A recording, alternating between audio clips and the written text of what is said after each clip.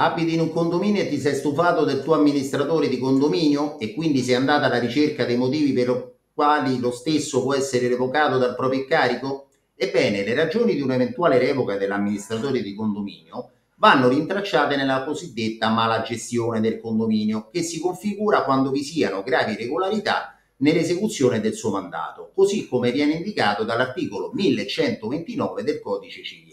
Andando subito nel concreto, un motivo di revoca è certamente quello quando l'amministratore condominiale non convoca l'assemblea per diversi anni, quindi non permette ai condomini di approvare i bilanci sia preventivo che consuntivo. In buona sostanza questo si verifica quando l'amministratore di condominio manda solo i bollettini di pagamento per la gestione del condominio, senza però dar contezza ai condomini di cosa stanno pagando. Un secondo motivo di revoca dell'amministratore di condominio è quando lo stesso commetta gravi irregolarità fiscali, ovvero bilanci sfazzati dove sono riportate delle spese senza però che le stesse abbiano un giustificativo oppure quando vi è una non corretta contabilità.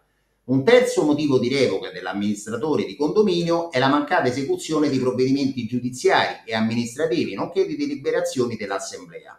Per esempio, l'Assemblea condominiale ha deliberato di eseguire dei lavori e l'amministratore di condominio non ottempera alla volontà dei condomini.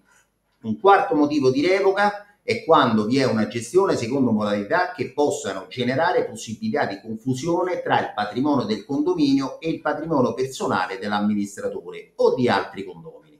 Un quinto motivo di revoca può essere quello di mancata avviso ai condomini di azioni giudiziarie intraprese da terzi nei confronti del condominio.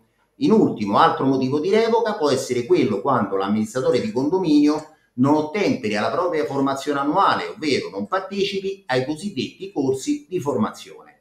Detto questo, vi ricordo come per azionare una domanda di revoca del tuo amministratore di condominio occorra necessariamente passare per la mediazione e solo dopo, in caso di esito negativo, procedere presso il tribunale.